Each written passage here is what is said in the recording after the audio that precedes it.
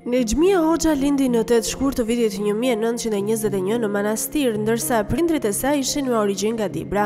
Në vitin 1928 familja e saj u shpërngul në Tiranë.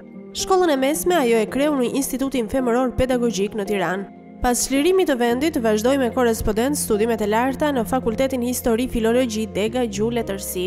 Nexhmije Hoxha ka marrë pjesë në mbledhjen themeluese të Rinisë Komuniste të Shqipërisë, 22 deri në 23 nëntor të vitit 1941. Gjatë luftës mori pjesë si delegate në të gjitha konferencat kombëtare si atë të Pezës, Labinotit dhe Përmetit. Pas çlirimit të vendit ajo kishte kryer funksione të larta partie dhe shoqërore. Në Kongresin e parë të Partisë Komuniste të Shqipërisë u zgjodh anëtare e Komitetit Qendror.